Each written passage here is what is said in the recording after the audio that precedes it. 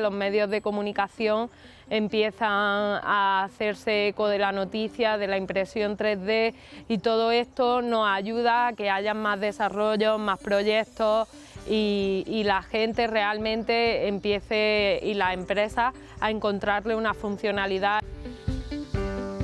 Es un, es un, sector muy enriquecedor porque aprendes muchísimo al ser tan transversal, porque puedes trabajar desde joyería, medicina, arquitectura, ingeniería, odontología, eh, aprendes a aplicar tu conocimiento en diferentes áreas. Trabajamos desde áreas como medicina, que, con bioimpresoras, con bioprinting,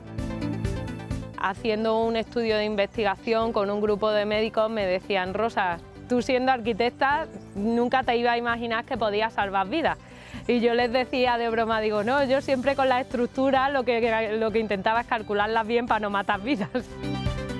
Lo bueno es que al ser la única mujer todo el mundo te conoce, o sea, todo el mundo te tiene referencia y al final cuando das una ponencia entre 8 o 10 hombres, pues es mucho más fácil quedarse con tu cara o con tu nombre porque eres, digamos, el elemento extraño. Yo creo que una empresa eh, tiene valor por las personas que trabajan en ello y aunque yo sea, digamos, la cara más visible, sin el trabajo de ellos detrás sería imposible. La crisis ha sido una gran oportunidad para nosotros, para España en general, porque se está viendo que están saliendo talentos que a lo mejor de otra manera no, no hubieran florecido.